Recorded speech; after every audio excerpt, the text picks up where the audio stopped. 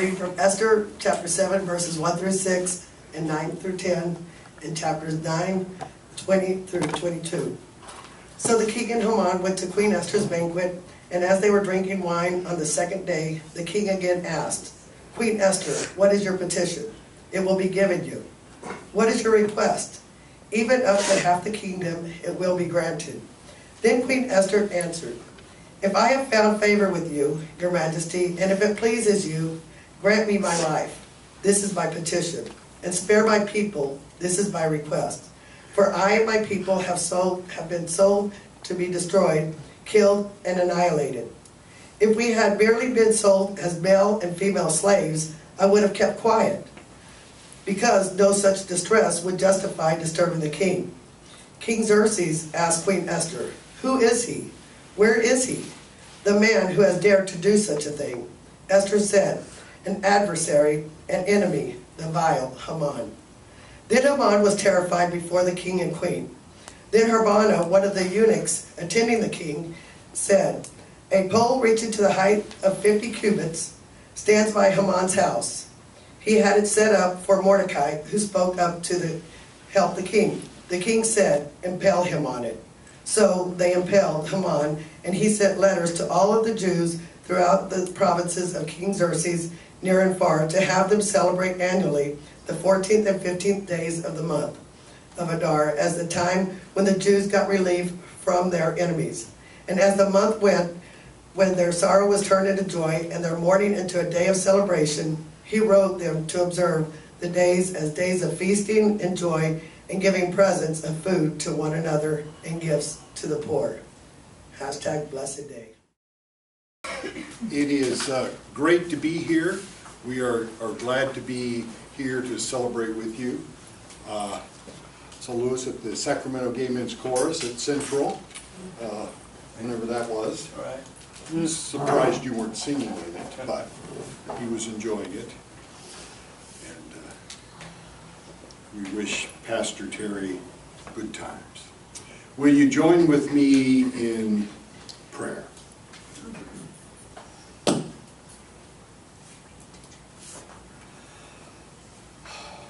God, we hear this ancient story. Allow it to touch our spirits. Allow it to speak to us on our journey so that it will become for each of us your word of life. In these next few moments, regardless of words spoken, may your word of life come to each of us so your word will guide our journey. In Christ's name we pray. Amen. I alluded as, I didn't allude, I said it clearly as we were beginning our time together today. It's no secret that the world in which we're living right now seems incredibly complex and convoluted. Some of our friends in the Middle East used to be our enemies, and some of our enemies in the Middle East used to be our friends. Syria and Turkey and Russia are working out and squabbling over some sort of demilitarized zone to ease the crisis there. Politicians of every persuasion in our country are stumbling over themselves to explain their solution to the immigration issue. So far, it ain't working well. Many, many live in fear of their neighbor. Time and again, we build walls between those in our community whose religion is different than ours, whose uh, politics is different than ours, whose language is different than ours. We build a wall separating those who married a spouse we believe they should not have married. Oh, it's so much easier to build barriers than to build bridges. It's so much easier to consolidate and to control than to be in conversation. The condition of our world and our response to it was floating through my mind as I pondered the scriptures that Pastor Terry and you all together have chosen as the focus for this morning. The story of Esther. I have very seldom preached on Esther's story. And uh, the day when Pastor Terry, and I- the day that somebody stole her purse, she and I were to have coffee at Starbucks and talk about this morning. And we're sitting there talking, and this wacko friend of ours, I could tell she wasn't really focused. And I said, what's happening? She says, well, somebody just walked into my office and stole my purse, and we were all there. A bunch of us were there. And I said, why are you talking to me? Get out of here. Go, go deal with that. You don't have to. So she, she dumped me, didn't even buy my coffee. So, that's true. Anyway, I did tell her that day that uh, I I couldn't remember preaching on Esther's story, that it, that it might have been some 30 years ago when I was serving the church in Sutter Creek when I preached a series of sermons on women in the Old Testament. I, uh, that was a guess. But this story is a story full of political intrigue, every bit as intriguing as Mueller and Manafort and Kavanaugh and the Judiciary Committee and Rosenstein and Trump. And it's all in the Bible. See, it worse for less. Yeah, well, besides all this intrigue, it is a story which, as we saw right at the end, that explains an ancient and still practiced Jewish holiday. So let's have some fun for a moment with poli- political intrigue and interesting parties. Let's see what the Word of God might offer. But before we get to this morning's reading, a bit of history. The book of Esther is indeed a very interesting book. The book had a very difficult time becoming a part of either the Jewish or the Christian canon. There could be a number of reasons. It, it lacks many religious elements. There are no prayers, there are no sacrifices, there's no mention of Jerusalem or the temple. Neither Mordecai or Esther acknowledged the Jewish law. Esther is married to a Gentile, eats non-kosher food, seems well assimilated into the Gentile world. And in all the story of Esther, in all of the story of Esther, God is never mentioned. But as we will see in the telling of this story, whether God is mentioned or not, God's providence is evident as God works through the actions of people, works through events of the day. And so to Esther's story. Many translations of this morning's scripture begin with the reading so. And whatever translation you read, read from said, So the king and Haman went in to feast with Queen Esther. What follows is based on what has come before. Sort of like, sort of like this. Uh, one day this week, Jackie and I went to Apple Hill. You know what's at Apple Hill? Apples. Apples, yeah. But they make lots of really good stuff with apples. Oh, yeah, Pie, the fritter. fritters. So let me just say, Jackie and I were at Apple Hill enjoy, and uh, we enjoyed the day immensely. So, on Tuesday, when I have to go away in at Weight Watchers, it won't be a good day. And you all know, or I'm assuming you know, that uh, Orchard Supply is shutting down, which really makes me mad. It was the best of all. But you know, they're having a tremendous closing sale. So I've been there a lot. So, in the not too distant future, a bunch of what I bought will be being sold at our garage sale. Yes, so always means that something has happened before. So, before we get to today's part of this intriguing story, we go back to see what got us to the point, this point in this morning's reading. To get to the so of our reading, we begin at the very, very beginning.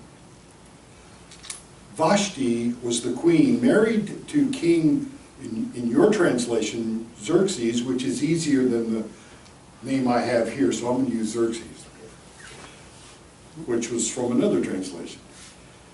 The king was hosting a party for all of the male leaders in the kingdom. At the same time, Queen Vashti was hosting all the women at a banquet which was happening just down the hall in the castle. The king ordered Queen Vashti to join the guys at the banquet. Queen Vashti refused. The king was furious. No one, not even the queen, says no to the king. He gathered his closest advisors together, whose names are so complicated, I'm just saying, he gathered his advisors, seeking their advice. There was great concern by all these men that Queen Vashti's defiance would serve as an example to the other wives in the kingdom, and that they, like the queen, would defy their husbands, would not listen to their demands. Therefore, she would have to go. So Queen Vashti was banished from the castle. Her role as queen ended. Now, with Vashti banished, a new queen was needed. A, a search committee was formed. Virgins from throughout the land were brought to the harem in Susa, where the king's eunuch was in charge of all the women in the king's harem. There, there are so many straight lines in this story that we'll keep moving. Now, Esther was one of the women brought to the harem. She was the adopted daughter of Mordecai, her uncle, who was a high official in the king's court. Now, although it was known that Mordecai was a Jew, both his relationship with Esther and the fact that she was also Jewish were kept secret. Well, when the king, keeping our story PG-13, hmm. shall we say, met Esther, kings get what kings want, you know. He was impressed by her beauty and pronounced that she would be the new queen.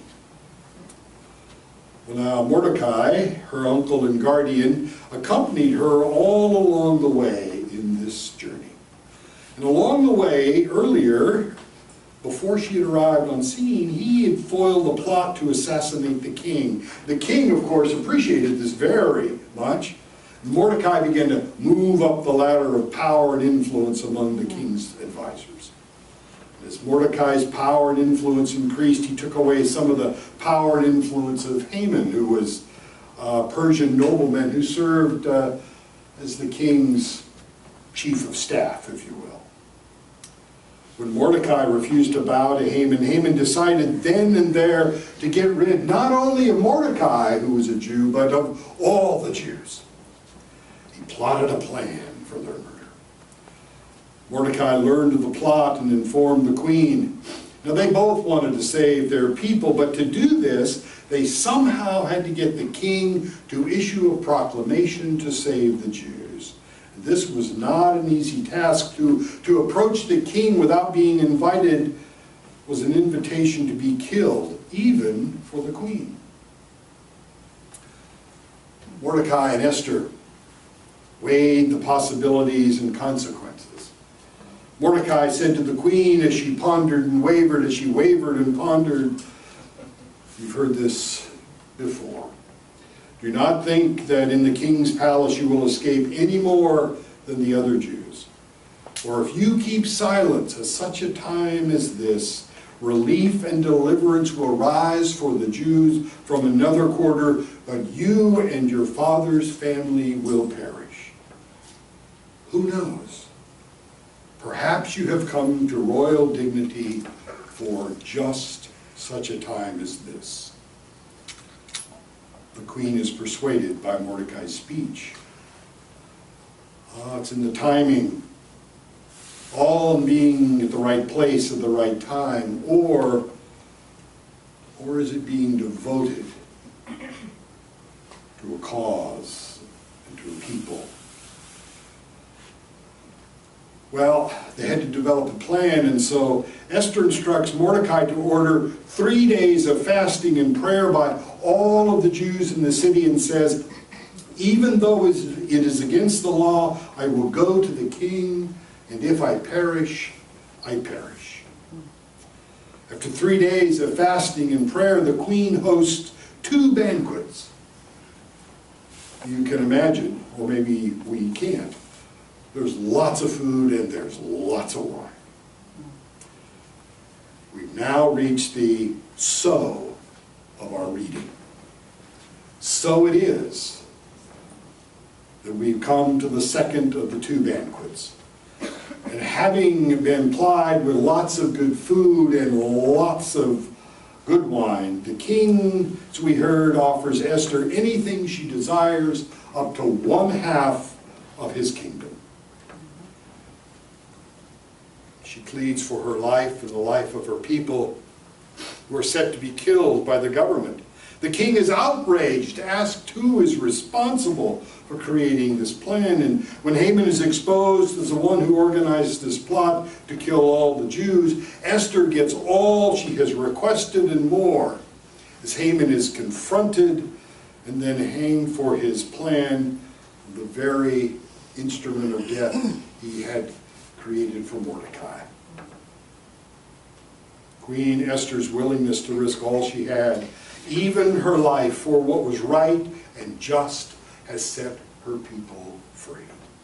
Her faith has redeemed her people by risking her life. Queen Esther has saved not only her life, not only Mordecai's life, but the life of her people who are being held in bondage.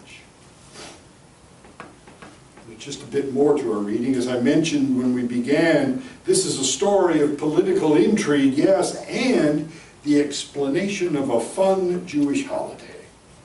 Yes, all the political intrigue has gotten Esther into the king's chamber and Mordecai into a more powerful political position. Naaman, the villain, has been hung on the gallows that he built for Mordecai, and the Jewish people have been saved from genocide. But what of this Jewish holiday? Jewish holiday is known as the Feast of Purim. Biblical instructions a bit later in the book, which, which we heard just a bit of, um, there's more. Provide guidelines for the celebration of Purim. Purim is to be celebrated on the 14th and 15th day of Adar on the Hebrew calendar, which was is February. This party commemorates the days of deliverance for the Jewish people with a time of feasting and rejoicing. There's some specific components to this feasting and rejoicing. There's to be an exchange of food and drink. There's always food and drink. It Seems like fun times. Donations are to be made to charity for the poor. There's a cel celebratory meal, and the story of Esther is read. This is, this is a great tradition. I've done it with uh, children at children's time. Read the story, or at least part of it. Anytime the name of Mordecai or Esther are read, the audience cheers. And anytime Naaman's name is read, the audience boos.